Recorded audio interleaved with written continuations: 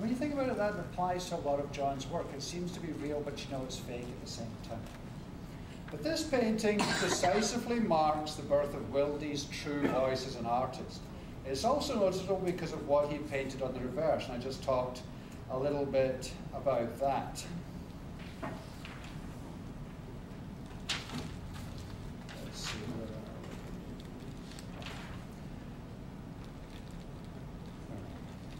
So yeah, we've got Sylvia and, and Helen. there we go. Sylvia and Helen and you've kind of got this past, present, and future all compressed together. Now, that's to say, the fact that Wilde painted this on the back of what would have been a major work speaks volumes to the greater value he saw in an American interior.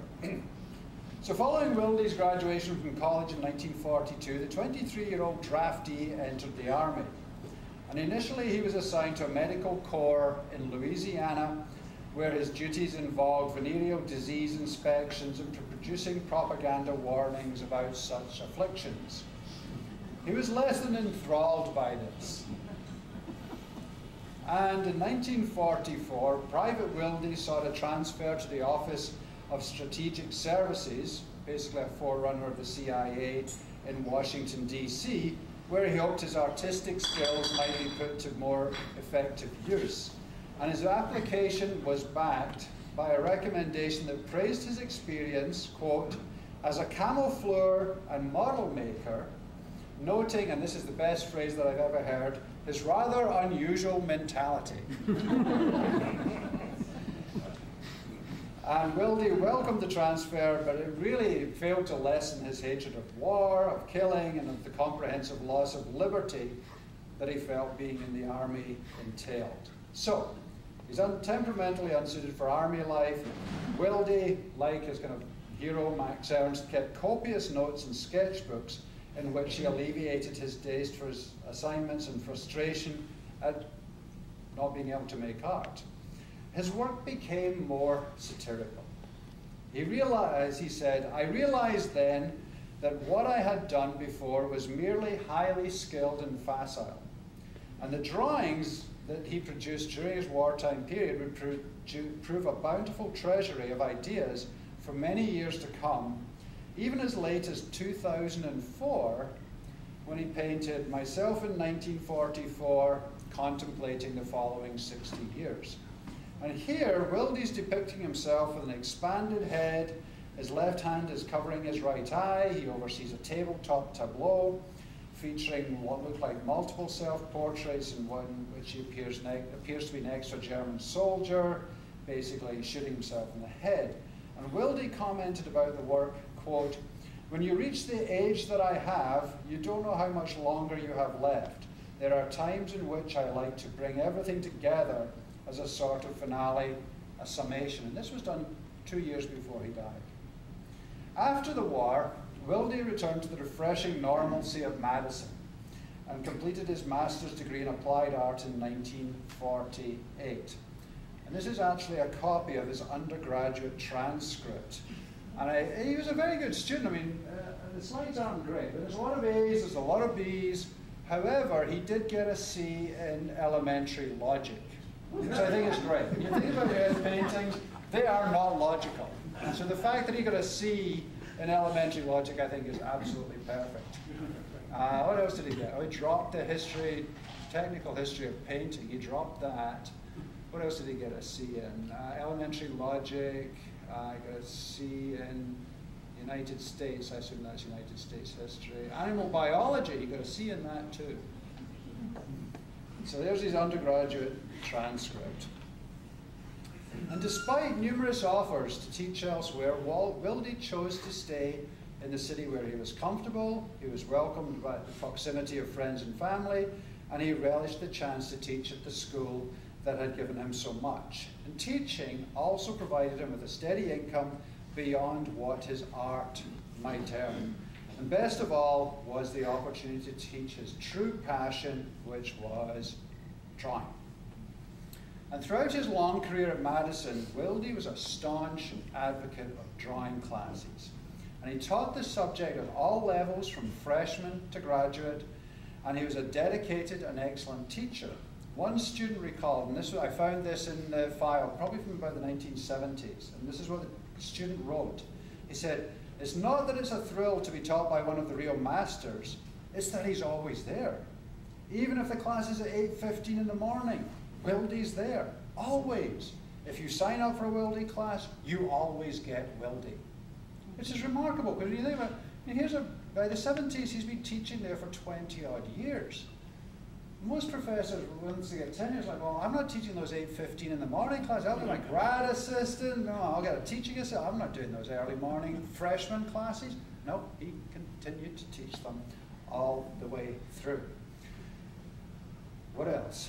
Even so, as much as he loved teaching, he really strove to find a balance between the requirements of the university and his need to make his own art. He had a rule of, never, quote, never appearing here, meaning campus, in the summer. He regularly sought semesters off from teaching, as much as one in six, and he, because he had to prepare for the numerous invitational exhibitions, something that he felt made him a better teacher. And again, there were letters, letters, letters in the file of this museum, of this gallery. Dear Professor Wilde, we're doing this exhibition. We would love to have two paintings from you. We would love to have three paintings from you. And you know, when you have 200 exhibitions over the course of your career, that means you've got to be in the studio producing work. But with regard to painting, actually I think we've got a couple more examples of his drawing. His, his drawing skill was just absolutely remarkable.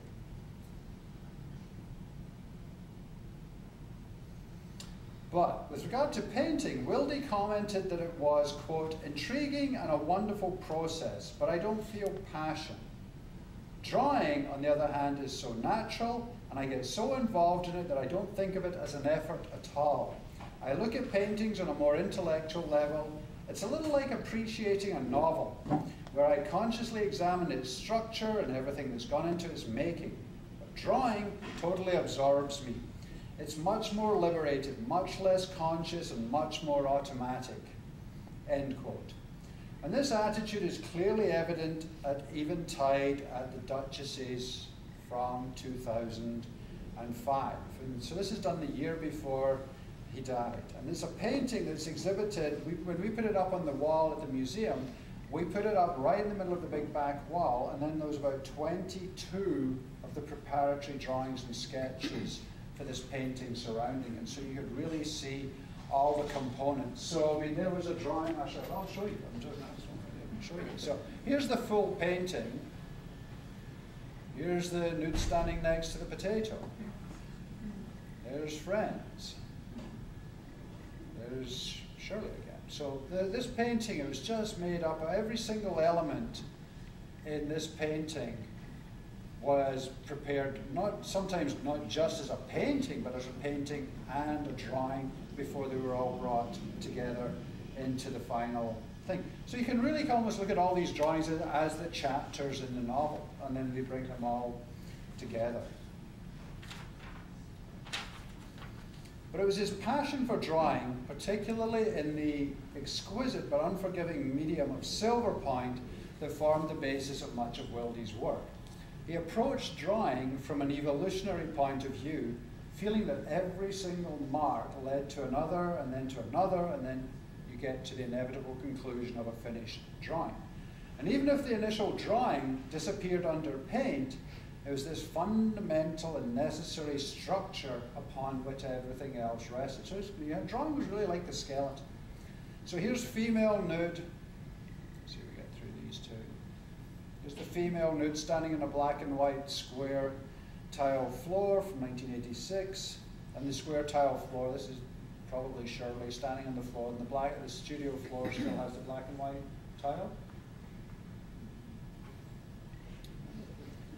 And here are the two of the self-portraits from, you know, 1993. You know, he's looking back, but he's also looking forward. As I say, self-portraits are very much a common thread through Wilde's career. And again, this harks him back to those early European masters who did the same thing. To quote Wilde, my main concern is simply myself. I am the actor on the stage being depicted, which again kind of takes you back to the American interior, and the almost stage-like composition. He said, most of my painting is scene painting. I paint a proscenium arch and depict activities happening on that stage. And very often I am one of the actors in whatever event happens to be. To me, there is very little difference between being in the painting and the act of painting. It's the same thing. It's almost impossible for me to separate myself from the things I am doing, and therefore, very often, I include myself. And Wilde's self-portraits, particularly double ones, such as this, and then this is myself twice, aged 80 years, 10 months from 2000, so they're both done at the same time. One is silver point, and the other one is pen and ink. They're kind of savagely introspective and savagely honest besides being, to all intents and purposes, memento mori. I mean, memento mori basically means remember we're all going to die. But they're also commentary on the universality of aging. We're all going to die, we all get older, and its inevitable conclusion. Moreover, these two works exemplify a fascinating duality in Wilde's art. He produces surreal fantasy scenes set in timeless, otherworldly landscapes while simultaneously marking the passage of real time through his self-portrait. So it's kind of like, again, it's kind of like, I paint these scenes where time seems to have no hold or no specific place, and then at the same time I am very clearly marking time with my self-portraits. and indeed, self-portraits, they were such a feature of Wilde's work, they find echo in his still lives, and both can be regarded as memento mori. Death is the great leveler. We all age, we all eventually die, and Wilde was as well, well aware of this as anyone, and his still lives harken back to European masters, and so here we've got some you know, European master still lives, 1690, to Zurbarán from 1633, here's Ridley from 1950. And here's Kumquats from 1960. Are these your pairs? pairs. And then there's this painting, the, the image, the With Old Friends in a Frightened and Da Vincian landscape from 2004. And actually, interestingly enough, you can just kind of see it down there, and I'm really sorry about the quality. I don't know what there's that little, remember that photograph I showed you of John and Sylvia? Mm -hmm. There it is from 1941 and 2004. You paint Sylvia right in the bottom of the painting. And while Wilde's self-portraits could be scathingly honest to the point of caricature and self-deprecation, portraits of his wife Shirley, whom he married in 1969, the same year he was named the Alfred Sessler Professor of Art at UW-Madison. And I think that is what a nice kind of full circle. I mean, here, as I mentioned, you know, when he was in high school, he goes to Sessler's studio. And I'm sure if you'd said to the young John Wilde in the early 1930s, oh, not only are you going to become an artist, eventually you're going to become the Alfred Sessler Professor of Art at Madison. I don't know about that. But he did. So it was a really kind of nice, completing the circle from his high school days. His portraits of Shirley are unfailingly warm. Here's another one of his kind of still lives of a dead mouse, and I think this was in his studio too. There's some more still lives. But his portraits of Shirley are there's just something wonderfully warm and kind of affectionate. I have to say, I think I, I said this: if there, ever, if there was one painting going to go missing out of the show and end up being in my house, this would be it. it's, just, it's only about this big. It's like this little teeny tiny thing, and it's in a vintage frame that he must have picked up from somewhere because it's got this green velvet liner. But it's just here's Shirley, and apparently Leonard was this raccoon who was hanging around the house so much he actually got a name. And so here's Shirley wearing with this, I don't know, looks like a nettle or something. And here's Leonard, and Shirley's wearing the go-go boots. And I, it's just, it, to me, it's got everything about Wilde. It's kind of this bizarre picture. It's, it shows the warmth and affection for Shirley, but it's kind of like this little medieval kind of miniature. And it's only about this big. It's just one of my favorite pieces in the whole show. But you know, Shirley was not just his wife of uh, more than 37 years, but she was also his model and his muse and featured in many, many works over the years. But also some were kept, I think, very much as tokens of his affection. And the strength and the duration of their love, as well as Wilde's penchant for combining the personal with the somewhat bizarre, is exemplified in three works. This one from 1969. There's the family portraits. There's Shirley sitting in the, you know, with the cat in her lap. Um, and as I say, this was done two years after he married Shirley, and his, you know, the family portrait. Shirley on a spotted pig. Bizarre. But, and then let's see what else have we got. Shirley with banjo, bugs and beans from 1991. And here's John and Shirley on their wedding night. And this is this is interesting. One of the great things about Wilde's work is, you know, sometimes artists, I mean, they want to date the thing, they want to sign the thing, you don't know what the title is. He was always meticulous on the back. Title, date, medium, so it was great from that point of view. But this one is done in 2000, so this is done, you know, 31 years after they got married. And it's kind of got that same kind of wonderful mix of kind of fantasy and bizarreness and real relationships. There's Wilde, he's slender, he's naked. Shirley's face is obscured by her purple hair. Um, I don't know if she ever had purple hair, but she has purple hair in this particular painting. Um, and the narrative is written in the back, and I read this is all written in the back of this particular painting. Our first act was to undress, and I put a crimson robe over her shoulders because of the brilliance of her white skin. Then I pointed out to her the importance, magnitude, and utter beauty of her feet. She pointed her left leg and foot out as I talked, and half smiling, listened. Then I gently bound her two feet together, removed her robe, and carried her over to the bed, and later thereon I placed eight red roses between her toes. So, there you go. Their wedding night.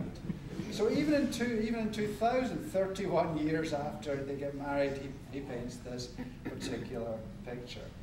And this attention to self and personal experience indicates that for Wilde, art was very much a form of psychological self analysis, a vehicle for the resolution of internal personal issues. Nevertheless, the issues in question are also universal and ubiquitous. Sex, nature, vanity, and the inevitability of death infuse his work. To express them, Wilde often drew inspiration from the land and its animal habitants that surrounded his and Shirley's rural property next to Badfish Creek. And in a letter to his friend and colleague Gerald Purdy, Wilde wrote, At the moment I'm gardening, walking in the woods, trying to maintain sanity, and working in my studio from 8 a.m. to 1 p.m. on the five days I don't teach. Now, I was talking to a couple of you earlier about Wilde's kind of, you know, solid scheduling. Now, this, there's Shirley with Bugsman. This I found in his file. So you can see he gets up. At 6.30, he's having breakfast. 7.30, racing off in the car, scaring the birds to teach. At noon, he has his lunch. Then back 1.20, he's back teaching again. 4.30, zooming off in the car again. Little cocktail, 7.30, read the paper. I think that's like 10 o'clock he's uh, fast asleep. And then I think this is at like what 2:30 in the morning. He's wide awake. Shirley's sleeping. He's he's basically reading because he can't sleep. Yeah, that's at um, three o'clock to 3:30 in the morning. He's wide awake. And then this is the other one again. These are just this is his friend Gerald Purdy who's who sent this to John, and these are his files. You can kind of see they're actually on just plain stripy paper that you would do. But here, this is on um, Tuesdays, so he gets up in the morning, he feeds the dogs and the chickens, works in his studio, takes a nap, works in the studio, four o'clock, chop, chop, chop, work in the garden, and then by eight o'clock he's fast asleep in front of the TV here. and basically just kind of repeat, repeat, repeats. So clearly he was a man of schedule and routine. So much so that his friend Gerald Purdy actually thought that he could, he knew it so well that he could actually write it all down.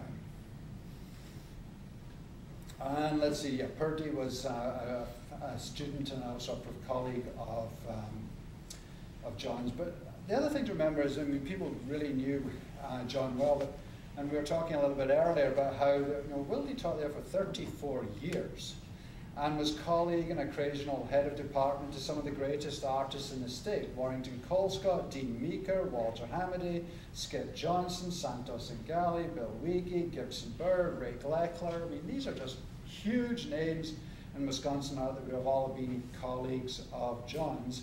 And they were all first class artists, and quite frankly, first class art artists with first class egos and personalities.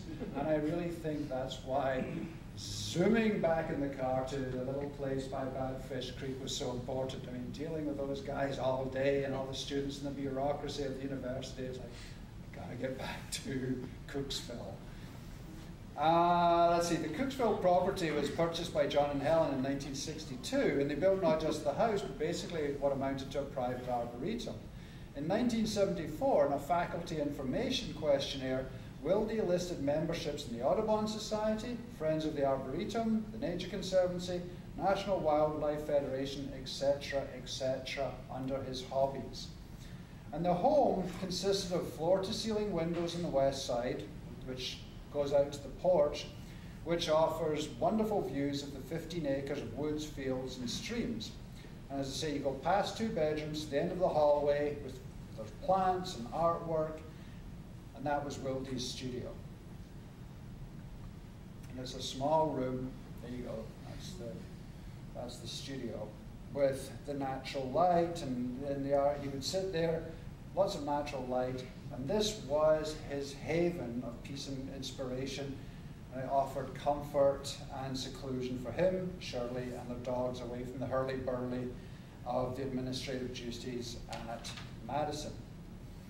Now, and you can just kind of see there, maybe you can't quite see there, there's a shelf just behind John, and that's where all of these little animal skulls and the bodies of the dead mice or birds that he would pick up resided to be worked into various paintings. And he gave them new life in his paintings.